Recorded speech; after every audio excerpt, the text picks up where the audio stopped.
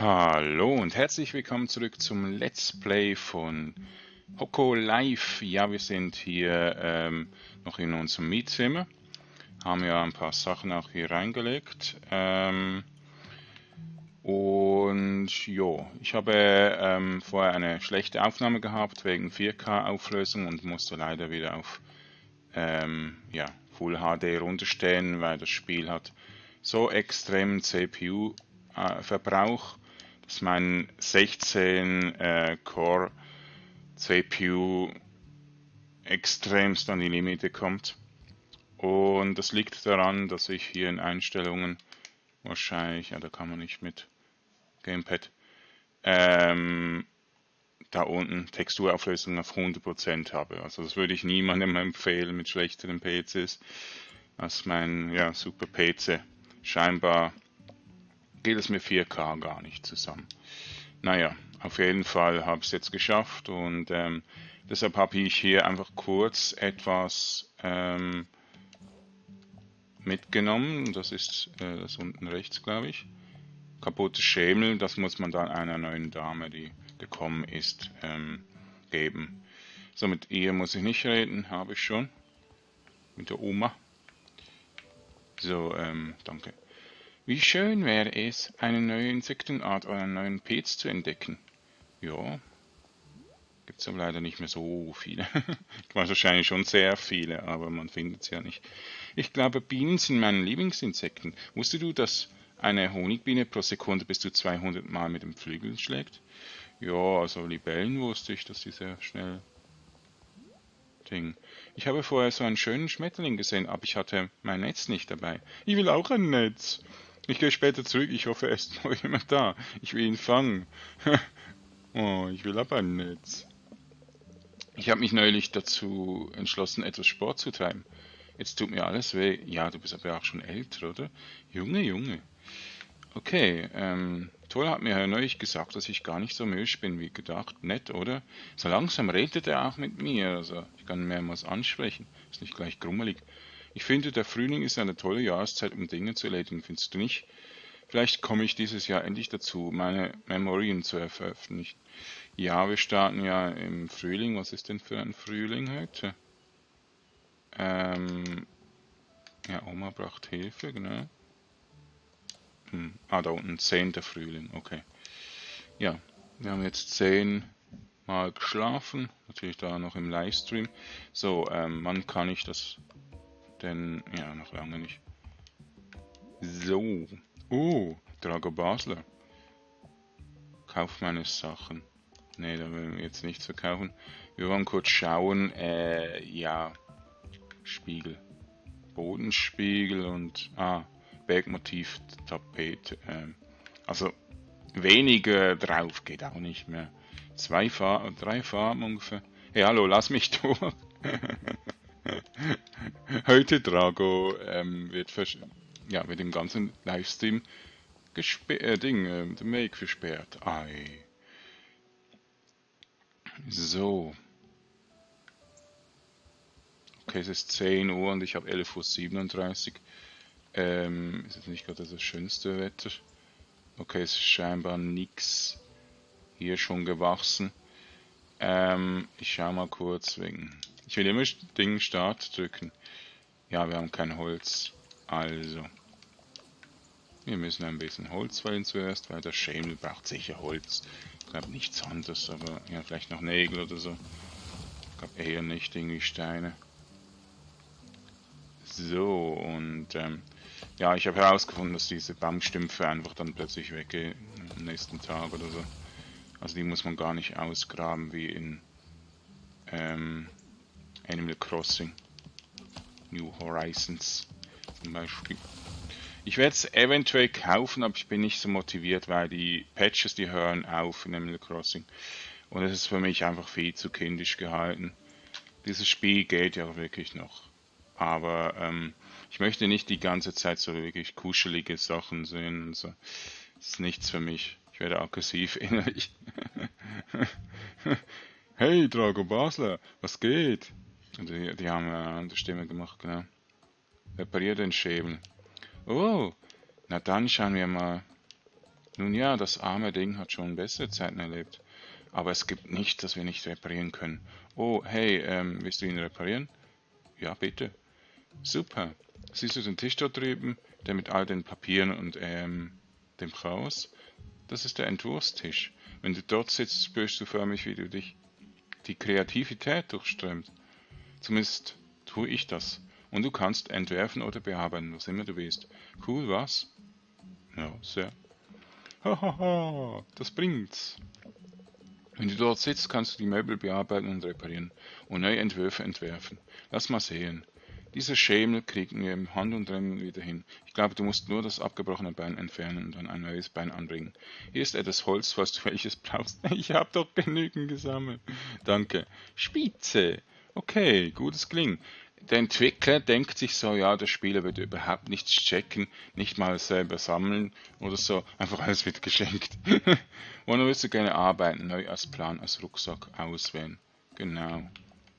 So, ja, das Spiel ist halt wirklich schon für Anfänger gemacht. Aber dafür ist es wirklich ein Spiel, wo man lange dranbleiben kann. Da muss man halt einfach als Profi natürlich schon ein bisschen ein Auge zu, zudrücken. Aber dafür ist es eben einfach richtig geil.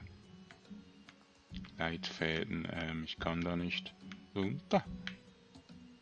Ich will jetzt einfach schauen, wo das kaputte ist. So, und das muss ich entfernen. LB. Okay. Und jetzt muss ich Zeug hinzufügen. Y. Ja, mh. Hm, viel zu sensibel. Ähm, jetzt muss ich irgendwie das wieder runterkriegen. Ja, mit welchem Button? Okay, äh. Kannst du nicht mal anständig, muss ich das echt mit der Maus machen? Ah, je. Ja, genau, man kann nicht mal. Man kann leider nicht mal. Ähm, ja, wir machen das einfach mit der Maus immer. Hey, ich will nur die Maus, äh, die,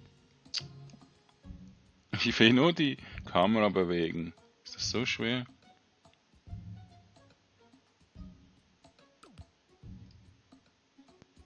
Okay, nach oben. Das ist ja einfach, das, das kennt man ja. Okay, dann noch drüben hier.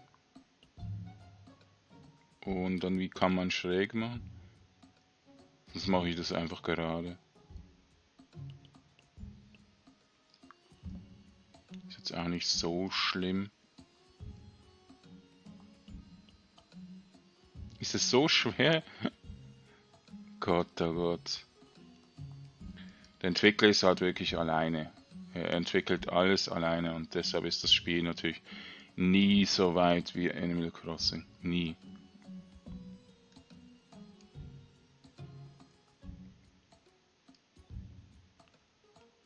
So, ich würde es so empfehlen äh, zu lassen. Also ich kann jetzt gerade nichts editieren. Skalieren.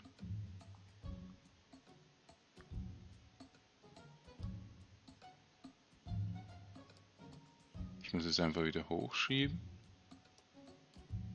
Ne, ich will nicht skalieren, ich will wieder bewegen. So, jetzt ist es immerhin auf dem Boden, scheinbar. Machen wir nochmal, nein, nicht duplizieren, skalieren. Dann machen wir das ein bisschen runter.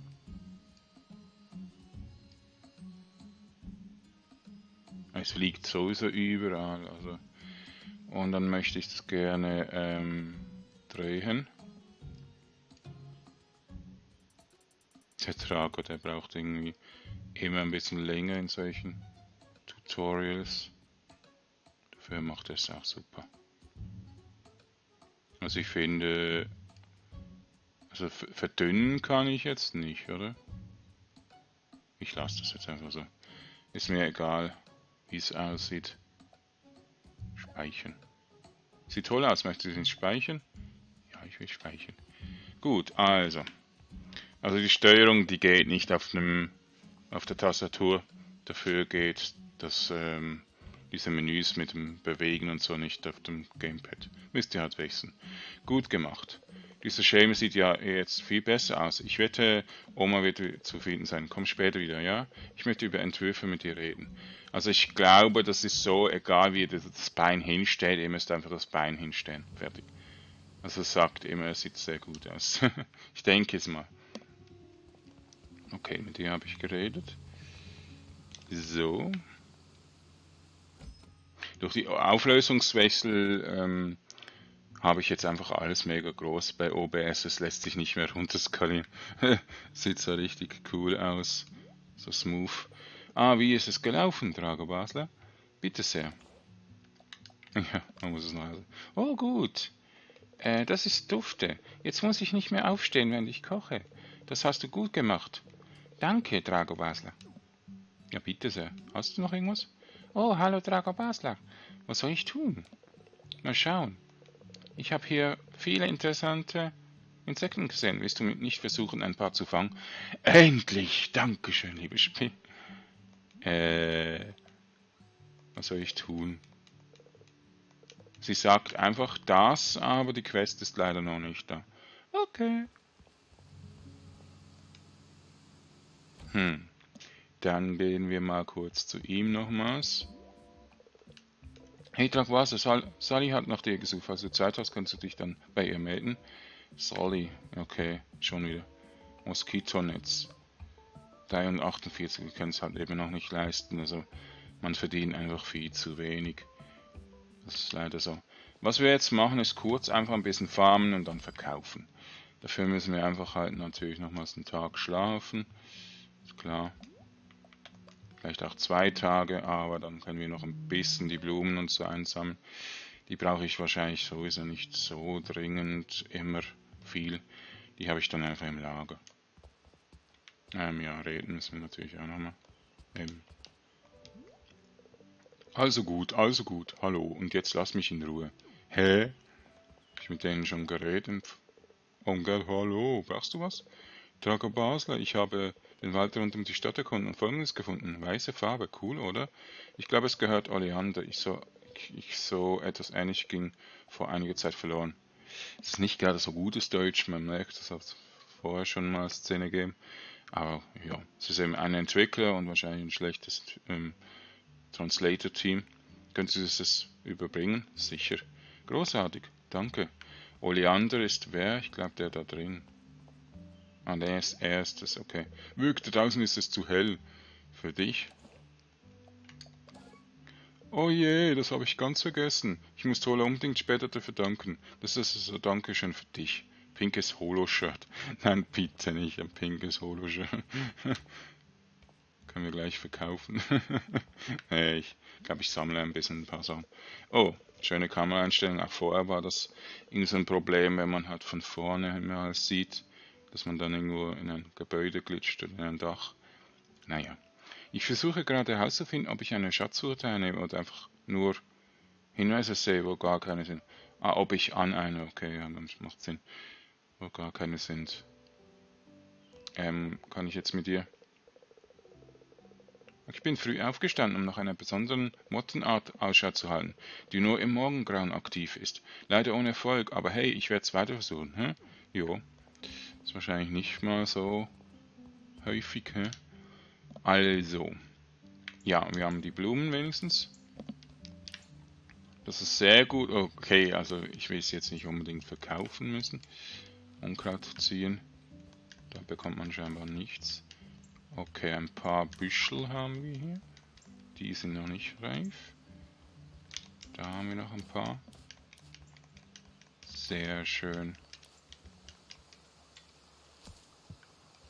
Okay, ich möchte gerne den Nachtpfauenaug haben.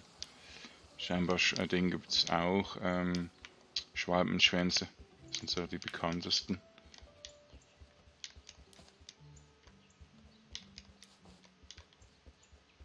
Okay. Die wachsen wirklich jetzt auch live. Also was wir machen können, ist Steine hier am Strand farmen. Ähm, die tauchen eigentlich immer wieder sehr schnell auf, ja. Ähm, ja, ich muss wechseln. So Steine geben nämlich relativ viel Ah, ich habe schon 232, ich habe wahrscheinlich 100 oder so bekommen. Ich kann jetzt momentan nicht schlagen, aus irgendwelchen Grund. Ja. Ist gerade ein bisschen verbuggt hier schon. Bin ich voll? Oh Gott. Bin voll. Also, dann gehen wir kurz zurück und verkaufen alles. Äh, ich muss jetzt diesmal nicht einsammeln. Also ich tue eigentlich immer dann einsammeln, wenn ich na, natürlich nicht in einer Aufnahme oder in einem Livestream bin. Weil sonst ist es natürlich schon relativ langweilig, oder? Ich mache einfach das, was ich kann. Und wenn ich nichts machen kann im Spiel, dann machen wir halt ein bisschen ähm, Aufsammel- und Verkaufen Sachen. Das muss für euch ja natürlich auch spannend bleiben. Hey, Drago Basler, Sally hat nach dir gesucht. Falls du Zeit hast, kannst du dich dann bei ihr melden, klar. Ähm, ich möchte nur Ich kann jetzt nicht verkaufen? Was ist denn das für ein Mist? Sorry, aber das geht viel besser. Ah, eben, es ist natürlich Early Access, also nicht alles stimmt natürlich.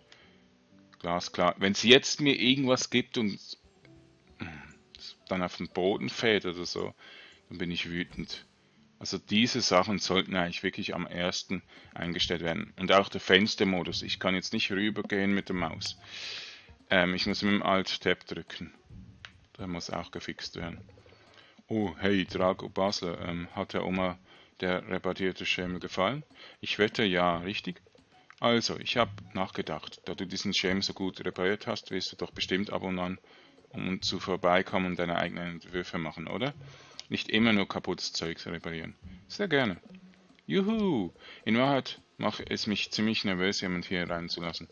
Geschweige denn, mein Werkzeug benutzen. Aber du hast gute Arbeit geleistet. Und ich glaube, ich kann dir vertrauen. Jetzt schon, nach, einem Auftrag, nach zwei Aufträgen. Und ich glaube, ich kann dir vertrauen. Und naja, außerdem ist es nett, Gesellschaft zu haben. Besser, als den ganzen Tag mit meinem Hammer zu reden. Hahaha, lustig. Ja. Ähm, ja, also ich habe mir gedacht, wir fangen mit dem Grundlagen an. Was meinst du? Packen wir es an. Super. Also gut. Zuerst gebe ich dir ein paar Pläne. Diese hübschen Dinge sagen uns, was etwas ist. Ich will keine Pläne, ich habe voll. Und sie haben ein paar Regeln, die du befolgen musst, wie Größe und so weiter. So etwas wie ein Stuhl muss gut besitzbar sein. also, so ist es in der Art. Bereit? Ähm, nein, ich bin nicht bereit. Her damit. Bitte sehr. Also, okay. Weiter. Es gibt viele unterschiedliche geformte Teile oder Einheiten, die du für deine Entwürfe verwenden kannst. Aus diesen Teilen baust du und entwirfst du Dinge. Es gibt lange Teile, kurze, weiche, gepolsterte Teile. Eigentlich alle Teile. Äh, ja. Ich fange an mit, einem, mit einer Erstauswahl an. Wir wollen ja auch nicht, dass du gleich mit Teilen erstickst, richtig? Ist doch mal egal, ich bin sowieso hochbegabt. Das ist witzig. Ich bin hochbegabt. Oh. Bereit? Herr mit den Teilen. Okay, hier sind all diese tollen Teile für dich. Ich glaube, das reicht, dass du mal loslegen kannst. Das sind nur zwei Sachen und so. Trotzdem, wie, wie tue ich die jetzt? Ah, die sind auf dem zweiten Inventarplatz oben. Das Holz her, also brauchst du für jedes Teil Holzbett. Ein Teil ist ein Holzbett, könnte man sagen. Du kannst allerdings auch einige super schicke Teile bekommen, die unterschiedliche Materialien benötigen, aber dazu ein anderes Mal mehr. Ja, wir wollen ja nicht überfordert sein, gell, Sally? Ja, hallo? Hörst du mir noch zu? Nein, ich bin richtig bored. Kannst du mir folgen? Nein, ich weiß doch schon alles. Äh, wow. Bin ich wirklich so langweilig? Ja, strunzlangweilig für Kleinkinder. Ach du Schande, na gut, fertige Holzblätter anführen sind deine Entwürfen. Du bist schlau. Nein, ich bin nicht schlau, ich bin sehr schlau. ich glaube, das findest du selbst aus. Ja klar, alles klar. Aber noch was. Ich, ich habe in dieser Werkstatt ganz viele verschiedene Pläne und äh, Anleitungen versteckt. Ja, versteckt. Komm vorbei, wenn du auf eigenen Beinen stehen bist. Nee, kann ich nicht, weißt du, ich bin erst ein Kleinkind. Es gibt einen Haufen Zeug, in der du dich mit diesem Entwürfen Quatsch verbeißen kannst. Mach ich. Lass mich jetzt in Ruhe. Super, cool, okay, also gut, großartig. Sorry, dass ich dich mit all diesen Informationen erschlage. Ja, mhm. Hast du noch nichts gehört von Schule, Berufsschule? Das habe ich all schon gelehrt, als ich 15 war. Juhu, das wird toll, dich hier zu haben zum Entführen und so. Kannst kaum erwarten. Also, ich lass dich jetzt gehen. Und ich bin gelangweilt. Tschüss. Ich bin gelangweilt über die Stimme. Ich will die Stimme nicht immer verstehen. Eieiei, da kommt man von einem ähm, Studium und Universität und findet so blöde Tiere. Nein, gedisst wird später. Oh, Drago Basler, erzähl mir von. Was hast du auf dem Herzen, Jungspund? Sachen anbauen. Oh, na ja, hm, ich bin zwar kein Profi, aber ich verstehe zu helfen. Du brauchst dafür eigentlich nur eine Schaufel und ein paar Samen. Wenn du deine Schaufel ausgerüstet hast, kannst du Löcher graben, darin neue Pflanzen setzen. Macht Sinn oder so. Wieso hat das Game nicht einfach so? Man setzt die Samen auf den Boden und sie werden mit der Schaufel eingegraben. Es ist so kompliziert, weil das in Animal Crossing so ist und auch in anderen Games. Ich weiß nicht, ob es in Stardew Valley und in Harvest Moon so war. Ich glaube auch. Also Star, äh, Harvest Moon sicher. Und dieses neue da, ähm, weiß gar nicht mehr, wie das heißt. Ich glaube schon. Okay, also dann, also das von den Hammers Moon entwickeln. Also wenn du deine Schaufel verwendest, grab einfach schöne kleine Löcher im Boden vor dir. In diesen Löchern setzt du dann die Samen ein. Blumen und Bäume kommen in die Löcher, die du mit deiner Schaufel gräbst. Wenn du einen Samenbeutel ausgerüstet hast und vor einem neuen gegrabenen Loch stehst, kannst du einfach deine Samen darin einsetzen. Und das war es eigentlich schon. Das ganze die Zeit gleiche mit den Blumen und mit den Bäumen gesagt. Blumen und Bäume brauchst du sonst eigentlich nicht viel aufmerksam. Sie wachsen auch so. Oh, und ähm, ich rede zu viel. Du kannst Pflanzen auch umsetzen, wenn du möchtest. Stell dich dafür einfach mit der Schaufel vor sie und grabe die Pflanze aus. Ist natürlich klar, aber Bäume gehen ja nicht mehr. Du kannst die Pflanze dann einfach an einem anderen Ort platzieren. Es funktioniert gleich wie mit Möbeln oder anderen Gegenständen. Hm, ich glaube, das war's dann alles war dann alles okay. Lexikon, bitte schließe dich. Zumindest alles, was ich weiß. Ich hoffe, ich konnte helfen, Dragwasser. Gut, dann bitte endlich verkaufen. Endlich, endlich kann ich Sachen verkaufen. Grasbüschel. Also Holzscheit nicht verkaufen, die brauche ich nicht anzupflanzen. Jetzt weiß ich gar nicht, ich will die Pflanzen für die fürs Färben noch ähm, Ding, also es reicht leider nicht, also genau diese, also Voice möchte ich einen haben, dann mache ich hier auch mal, okay, der ist sehr wertvoll, Bra der Brachse. Einen verkaufen, jetzt haben wir genug Geld. Jetzt können wir eigentlich pinkes Holo-Shirt. Sieht aus, als würde es in Drogen getauft worden sein. Sorry, äh, in, in bunter Ölfarbe. Äh, ich möchte jetzt den Cache zuerst. Ja, wir können es leisten. Gut, der Cache ist unser. Gleich mal ausrüsten, aber ja. Oh, und Subwoofer möchte ich natürlich auch noch kaufen können. Ja, ist gar nicht mal so teuer. 160. Leider haben wir jetzt wirklich kein Geld mehr. Dann, äh, aha, ich hätte den Backpack zuerst kaufen sollen. Mist. Gut, also ich hoffe, dass es nicht so schlimm wie bei Animal Crossing. Sonst werde ich böse. Ja, es ist so schlimm. Okay, äh, äh, äh. Hallo, er ist doch vor mir jetzt. Tagpfauenauge, okay, es ist nicht Nachtpfauenauge. Ah, Tagerpfauenauge. Ähm, ja, wir sagen halt in der Schweiz eher Nachtpfauenauge, weil es in der Dunkelheit bei uns immer herumschwirren oder sind auch Nachtpfannauge. Wahrscheinlich ist es beide. Also es gibt Tag- und Nachtpfannauge, da heißen sie auch Tagpfannauge. Ja, schon klar. Aber dreimal der gleiche Schmetterling. Was ich will ist Zitronenfalter oder... Oh, da ist ein Schwalbenschwanz, genau. 75 mm. Oh. Okay. Oh, direkt. Sehr schön. Also es geht schon schnell. Aber ähm, ja, es ist ein bisschen langsam, das Fenster, das aufploppt. Ist ein bisschen langsam. Ah, also und so kann man es auch fangen. Aber vorher hatte ich mega Mühe gehabt, weil er zu weit oben war. Hm. Okay, da haben wir noch einen. Ist das ein 9 einen Tag? Ja. Sah so orange aus dem ersten Blick. Also ähm, Fischen habe ich ein bisschen rausgekriegt, was genau so wichtig ist. Wichtig ist einfach direkt immer in die gegenseitige Richtung drücken. Okay, jetzt bin ich leider schon wieder voll. Unglaublich, wie die Entwickler uns immer wieder plagen mit ihren genau, Zitronenfalter. Das sieht aber, also eigentlich ist der Zitronenfalter ähm, Ding ähm, so olivgrün. Schlüsselblumenwürfelfalter.